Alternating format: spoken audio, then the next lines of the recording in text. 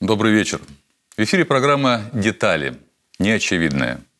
Каждый четверг мы будем говорить о событиях, людях, явлениях, о том, что вызывает спор. Мы представим новый взгляд на привычный. Например, уверены ли вы, что знаете о классике коми-литературы Иване Куратове все? Если да, то оставайтесь у экранов. Через полчаса вы поймете, что ошибались. Об Иване Куратове сегодня будут говорить наши гости. Итак, Павел Федорович Лимеров, кандидат филологических наук. Добрый вечер. Добрый вечер. Диана Григорьевна Холопова, заведующая литературным музеем имени Ивана Куратова. Добрый вечер. Добрый вечер. И Игорь Любомирович Жеребцов, э, директор Института языка, литературы и истории, доктор исторических наук. Добрый вечер. Я рад, что вы пришли. Э, напоминаю телезрителям, что э, в этом году Ивану Куратову с дня рождения исполняется 180 лет, но не это явилось причиной нашего разговора, а вот эта книга, она называется «Иван Алексеевич Куратов». Только что она вышла, ее автор находится как раз с нами, Павел Федорович Лимеров. Так вот, э, это издание явилось причиной нашего разговора, потому что появляется возможность поговорить и, может быть, какие-то стереотипы убрать и узнать новую информацию об Иване Алексеевиче Куратове. Считаете ли вы, что этой книгой вы поставили точку? Нет, конечно. В исследовании? Тема очень широкая, и мне кажется, что это только, можно сказать, что какая-то, какой-то пункт исследований. За рамками исследования оказались еще и казанский период, и э, много в Туркестане непонятного. И вообще, мне кажется, что еще есть над чем работать. Диана Григорьевна, хотим сказать, что и вы год начали так резко э, с Ивана Алексеевича Куратова. В Национальном музее была только-только выставка. Можно сказать, что выставка нам, горожанам, э, что-то новое открыла в Куратове? Я думаю, да. Не то чтобы много, может быть, о Куратове, а о тех людях, которые были хранителями его рукописного наследия, это да. Эти материалы до этой выставки так широко еще ни разу не представлялись. Я назвал уже вас, ваши, э, скажем так, регалии. Я среди вас один, кто не имеет никаких степеней, зато у меня есть вопросы. Насколько мы все знаем Куратова? Такие люди, как я, то есть большинство. Что это? Человек из XIX века, который стоял в той же плеяде критиков – Э, существующего строя, немножко революционер, немножко оппозиционер. И вот таким мы его знаем. Человек, который не вписался в свою среду и был вынужден уехать из Усольска. Действительно, мы смотрим на Куратова с точки зрения стереотипов, которые сложились в основном в 30-е годы. Было такое время, что вот э, если он бы не соответствовал каким-то требованиям марксизма-ленинизма, то он бы вообще-то и не, не стал бы нашим классиком никогда. Ведь э, сложности возникли сразу же, как только нашли рукописи Куратова Слушайте, в, пер, в первой а публикации. Рукопись Куратова нашлись когда? Ну, ну, о них было, конечно, известно, но очень узкому кругу людей. А, и только, мне кажется, что тут чудо произошло, когда Алексей Семенович Сидоров женился на Людмиле Степановне Куратовой. да, вот, и поехал в Визингу, где обнаружил у Степана Куратова, ее отца, вот эти рукописи. И, и конечно, он тут вот он решил сразу же их как-то обнародовать, опубликовать. Он понял, э, что это, это вот богатство такое, это творческое наследие действительно великого человека. И вот с этого момента просто, вот это было в 23 году, если не изменяет память, да? Да, 23 год это Да, да, да. В 23 году. И с этого момента начинается история публикации, что ли, вот, э, куратовских стихотворений. И вот тут возникает э, очень интересный момент. Игорь Любомирович, присоединяйтесь к нам. Куратову повезло э, повезло как минимум э, два раза. Во-первых, что его рукописи сохранились Нашлись? и были найдены, да. Потому что, скажем, его э, современник э, Георгий Лыткин, фигура гораздо более известная в, в то время, этим похвастаться э, не, не мог. Если бы в свое время у него э, в Нижнем э, Новгороде или где-то там не украли э, чемодан с его рукописями, возможно, он бы э, пр- претендовал на роль, так сказать, первого и главного э, классика э, э, литературы. А Куратов, да, э, его э, абсолютно правильно сказал э, Павел Федорович, это находка сразу стало таким, знаете, огромным событием в жизни.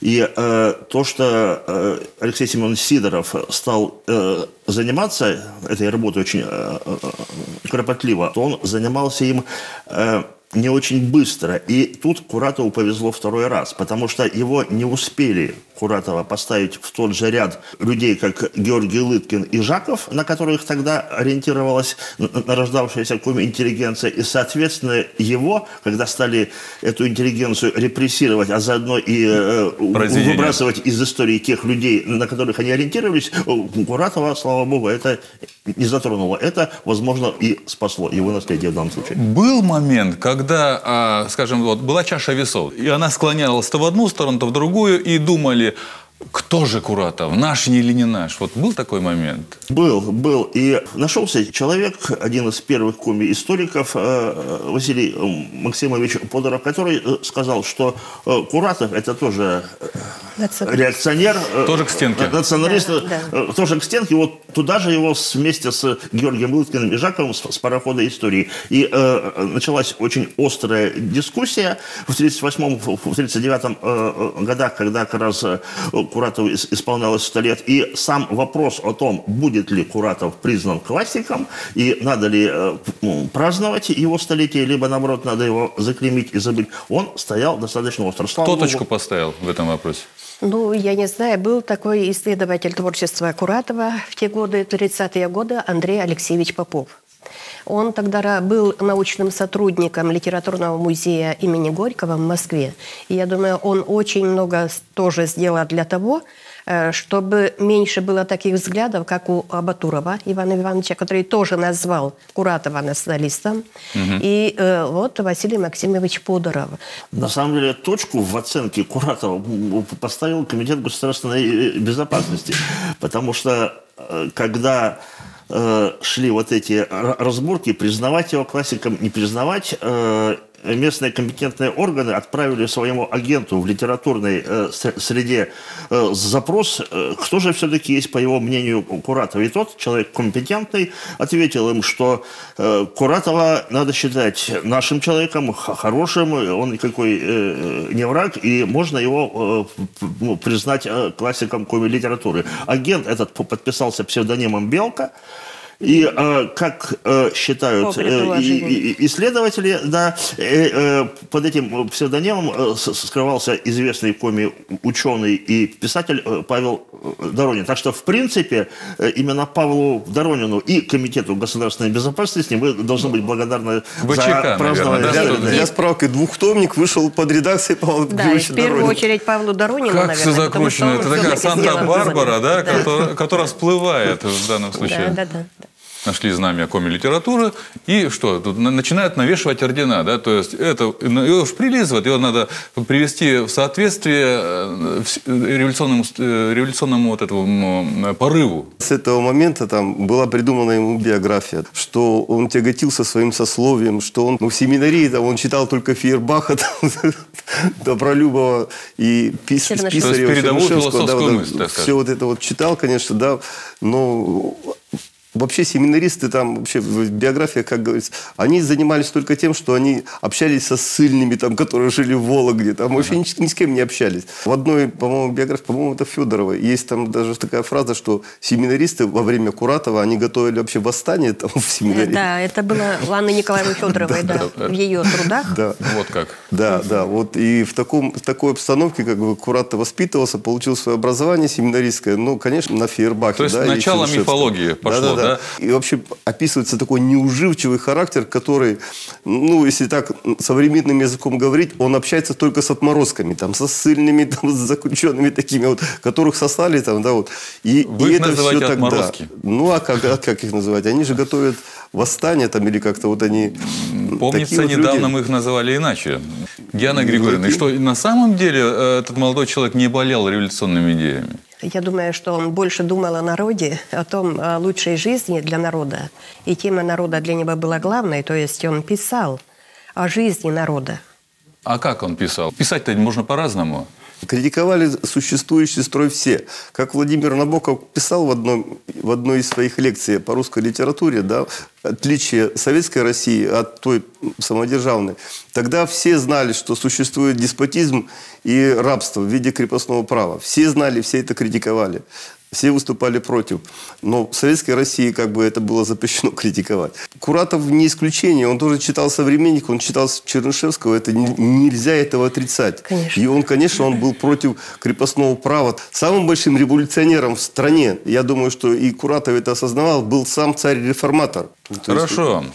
А, очень интересная ситуация, наверное, была в то время, в 19 веке в Уссысольске. Но м, поговорим а, об этом чуть позже. Э, Сейчас э, небольшая пауза на рекламу. Мы продолжаем говорить об Иване Куратове. Иван Куратов, скажем так, с другой стороны, да, по немножко необычный ракурс. Э, Усть-Сысольск, 19 века. Игорь Любомирович, что это? Это центр вселенной или глухая провинция, из которой надо бежать? Как себя чувствовал Куратов в этой среде? На самом деле, конечно, э, не то, не другое. Это была все-таки э, малая родина писателя. Он, как представитель интеллигенции, естественно, находился э, в определенной оппозиции э, к власти, потому что это естественное свойство интеллигенции во все времена. Просто одни находятся, условно говоря, в конструктивной оппозиции, другие в непримиримой. Э, Куратов ведь не бегал с красным знаменем и не призывал к восстанию, он выражал себя в своем творчестве. Творчестве. Это творчество он не печатал на листовках и не э, разбрасывал по городу. Он писал стол, он писал, он выражал э, себя. Он закончил семинарию по первому разряду. То есть у него, он имел право поступить в духовную академию или идти на преподавательскую работу. То есть противоречия здесь не было. Не было Да. противоречия в том, что он э, жил в Усть-Сысольске, то есть его там, наверное, ничего не смущало. И, видимо, то, что э, Ну, были ведь- коми в округе, Но это в была основа для его были учебные это заведения, были. Например, уездное училище в Уссысольске. Он дружил с преподавателями уездного училища, встречался, общался. Это тоже, наверное, имело какое-то значение. И вообще Усть-Сысольск, конечно, был в то время ну, центром севера, это однозначно. Здесь была очень благоприятная такая культурная обстановка. Здесь было очень много ну, таких вот благородное общество Усть-Сысольска, оно представляло такое уникальное совершенно явление. Сюда входили такие вот известные писатели, как вот э, Филигон Тарсеневич Арсеньев, Джевецкий врач, который написал книгу первую. Фрязиновский. А, Фрязиновский, да. Ну, Фрязиновский был просто преподаватель. Я имею в виду Да. Михайлов, там, Кич. То есть культурный Кичи, фон был Евгений неплохой. Кичи. Да, Это, это очень... Они публиковались в центральных журналах. Вот тот же самый Арсеньев, о котором мы мало знаем, он был не то что дружен, но и о нем очень хорошо отзывался Аксаков, там, он переписывался с Тургеневым. И, и его вот эти вот рассказы охотничьи, они очень широкой популярностью пользовались в России тогдашней. То, что он похоронен здесь, в Уссысольске, мы даже об этом не знаем. Вот скажите, э, почему, зная, что рукописи Куратова пришли, открылись нашему народу довольно поздно, когда уже публиковались и Виктор Савин, и другие, то есть уже были литераторы, и вдруг появился Куратов, почему вдруг он основоположник? Надо э, договориться, наверное, о терминах, что мы под словом основоположник понимаем. Да, основоположник Если основоположник это тот, кто просто был первым, в, в- таком понимании, тогда Куратов, если первый писатель, о котором мы знаем, реальный писатель. Который писал на да, каком да, языке? Да, Но если мы говорим об основоположнике, что, мне кажется, более правильно, как о человеке, работы которого легли в основу, на которой строился э, э, далее фундамент, то здесь возникают э, вопросы, потому что де- действительно э, работы э, Куратова вошли, так сказать, в э, коми-литературу тогда, когда литература уже была. Татьяна Григорьевна, вы, я понимаю, вы не отдадите Нет. Да, вы не отдадите это звание основоположника никому другому, и оно останется за куратом. Так считаете? Да, я так считаю. Почему? Потому что, э, почему, э, во-первых, э, в XIX веке только у коми народа, среди финно-угорских народов, появляется свой поэт. Ну как он, он первый стал писать на коми языке, а кто до него? То есть вот дошедшие основоположник, потом по- потому что он раньше.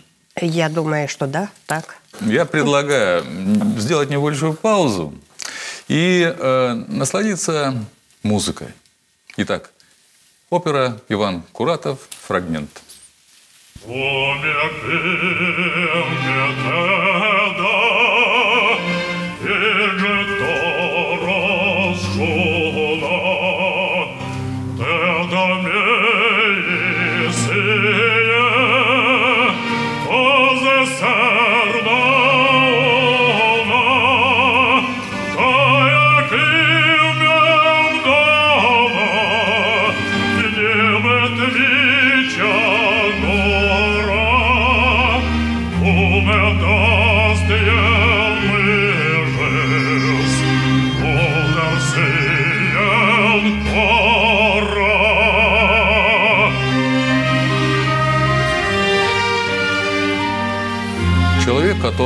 вписался э, в то общество, которое его критиковал, который был противоречив с обществом, и общество его просто выдавило из себя, он словно Чацкий.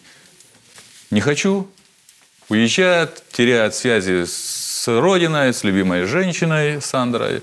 Э, То есть вот эта фабула, она осталась. Э, Это устарелая точка зрения на Куратова? Да мне кажется, Куратову просто было тесно. Он был действительно... вот То есть за- масштаб личности Да, такого? масштаб личности. Он сам принимает решение уехать? Сам, только сам.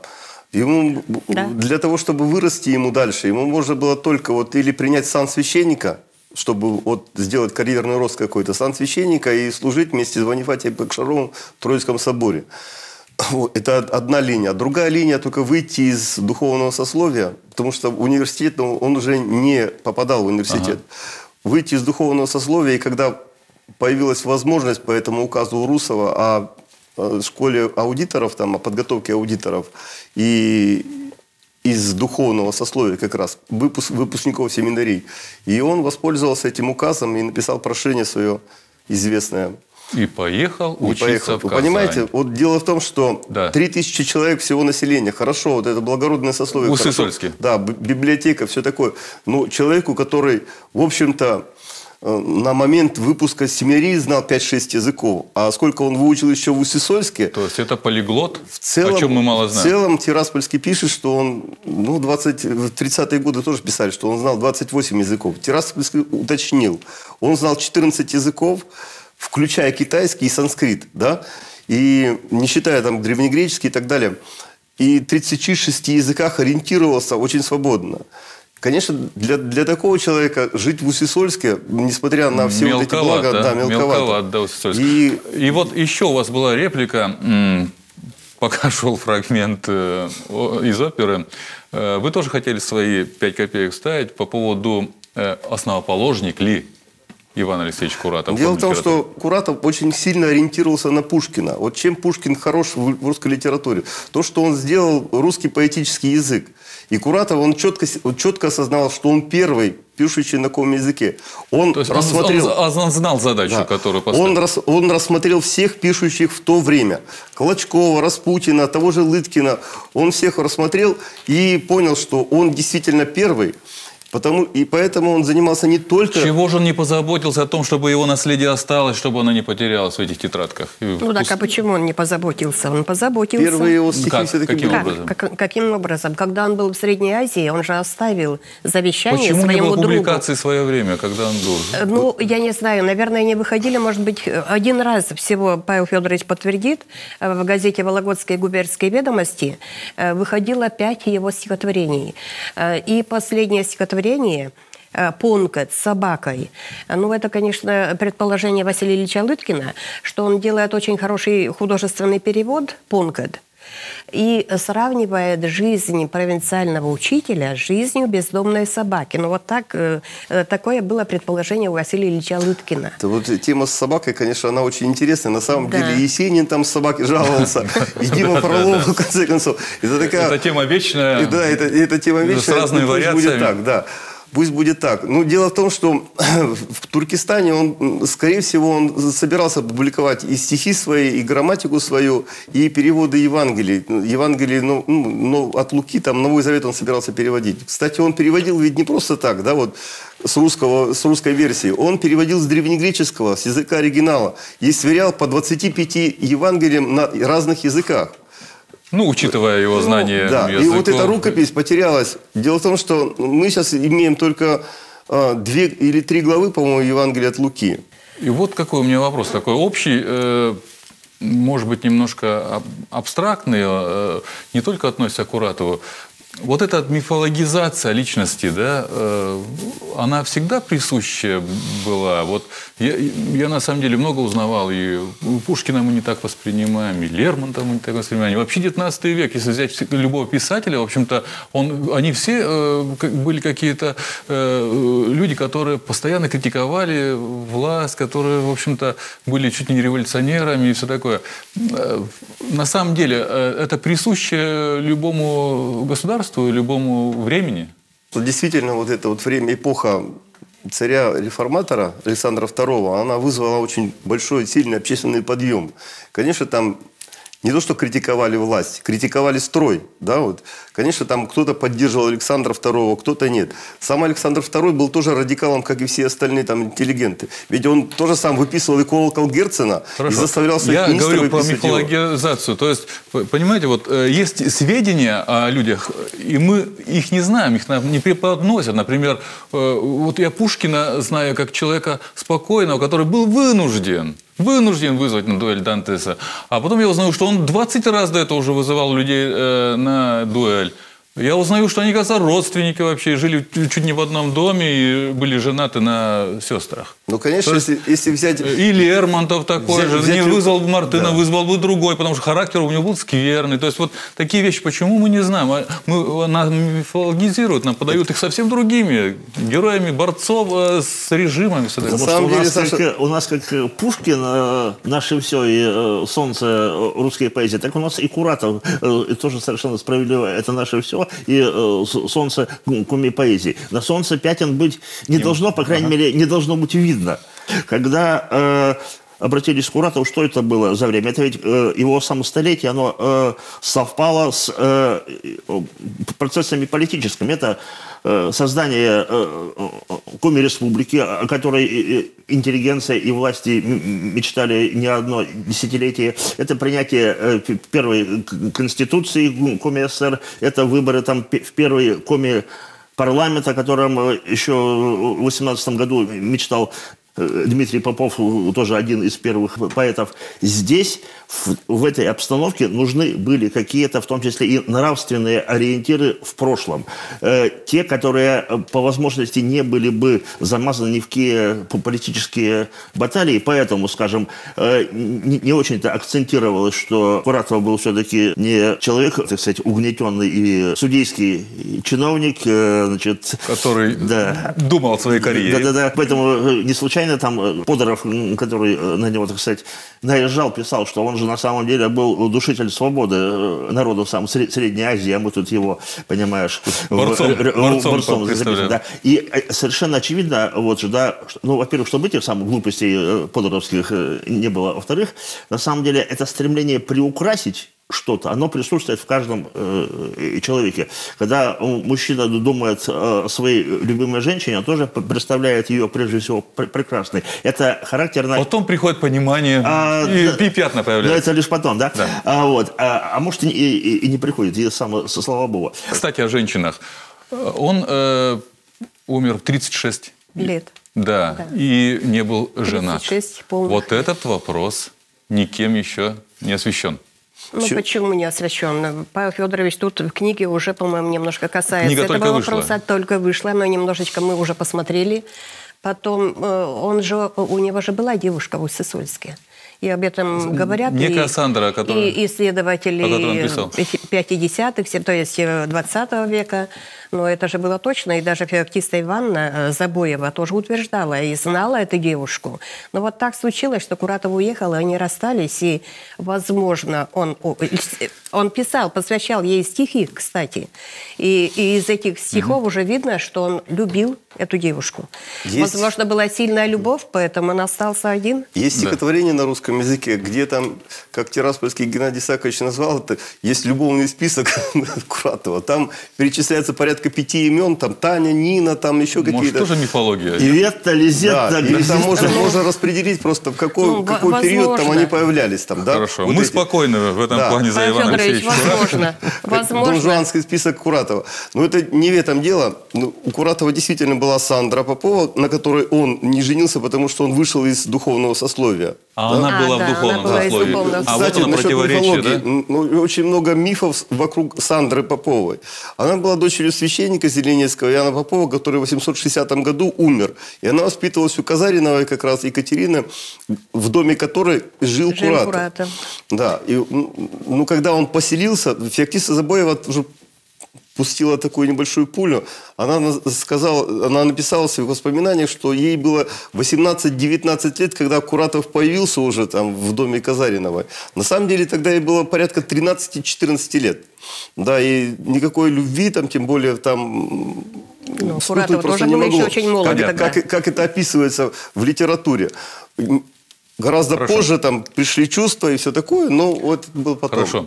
Давайте закроем эту Тему. тему. Нет, нет, подождите. Есть в Туркестане была у него женщина, звали ее Надежда Чукреева. Она была Квартирной хозяйкой. да, квартирная хозяйка его, и от нее даже был сын у Куратова, который Вот умер, она, к новая сожалению. информация. Да. Николай Петрович Ивлев Да. пиш- То писал. есть вы этом, полагаете, что Да. все-таки какая-то линия от Курата до Нет, наших а- дней могла дойти? Могла бы быть, Да, но... могла бы быть, но не дошла. Он умер, у нее на руках фактически она закрыла ему глаза.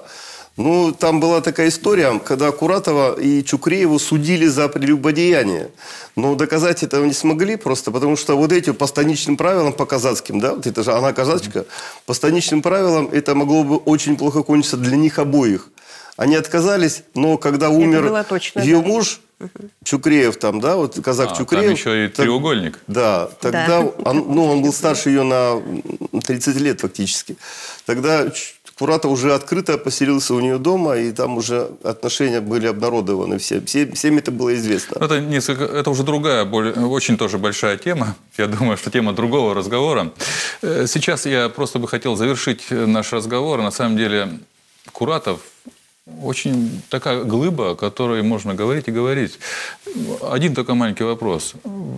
Стоит памятник у нас в центре города Куратова? Все это закономерно и правильно? Безусловно. Безусловно, конечно. А как же нет? Хорошо. Спасибо за сегодняшний интересный разговор. А для телезрителей я еще раз э, хочу представить наших гостей, кто у нас был сегодня. Это Павел Федорович Лимеров, кандидат филологических наук, автор новой книги об Иване Алексеевиче Куратове. Игорь Любомирович Жеребцов, директор Института языка, литературы и истории, доктор исторических наук. И Диана Григорьевна Холопова, заведующая литературным музеем имени Ивана Куратова. Иван Куратов заслужил память о себе, заслужил уважение, заслужил то, чтобы его творчество изучалось. Это не бронзовый бюст, это человек, очень большой творческий человек. Читайте Ивана Алексеевича Куратова и смотрите нашу программу по четвергам. В эфире была программа «Детали неочевидно». Всего хорошего.